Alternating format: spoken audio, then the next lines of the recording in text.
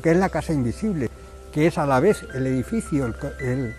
aquello que, propicia los encuentros, que nos cobija como colectivo, y la gente, ¿eh? todo a la vez.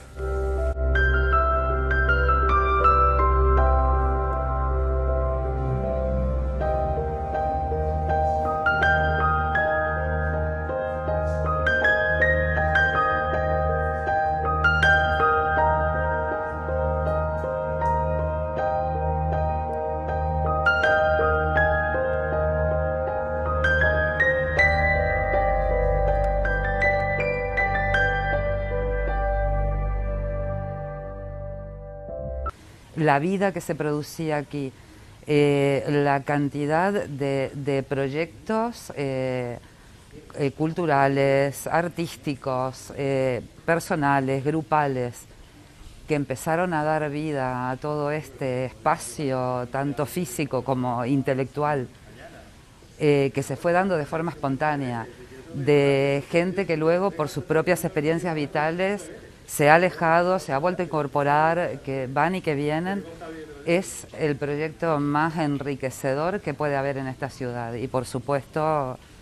eh, cada día más entendemos que no puede existir Málaga sin Invisible. Yo lo que le diría es básicamente que vengan y que, y que lo disfruten, porque hay mucha gente que viene de casualidad, sobre todo entrando por aquí por Andrés Pérez al patio, de muchos tipos de personas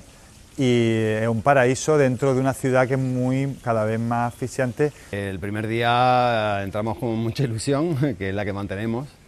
Era justo eh, durante el Festival de Cine de Málaga y la propuesta que lanzábamos era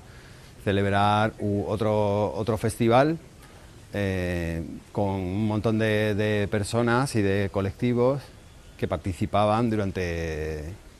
que iban a participar durante toda una semana en, un festival autogestionado por diferentes colectivos y asociaciones. El sentido de la Casa Invisible hoy es, desde el principio, es que eh, pensamos que, la cultura, que es un derecho también, pero también es, eh, es algo básico en el cual se tiene que implicar la ciudadanía. Está muy bien que haya bibliotecas, que haya museos, que lo lleven gestores, que lo gestionen la administración pública, pero lo que se está, lo que se promueve de la invisible es generar otro tipo de instituciones del común, colectivas, en las cuales la ciudadanía se implique directamente.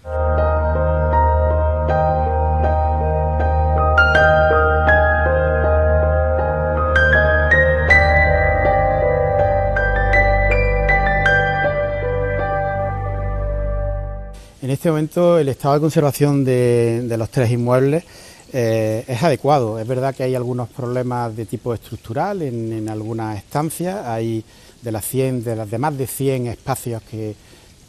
tiene la Casa Invisible, hay cuatro espacios que están clausurados pues, por problemas estructurales, problemas puntuales, y el resto de, los espacios eh, están cerrados por ah, actividades públicas pero no hay ningún tipo de riesgo y con motivo de ello no hay ningún tipo de medida cautelar de cierre en, el edificio y estos espacios están en buen estado de conservación.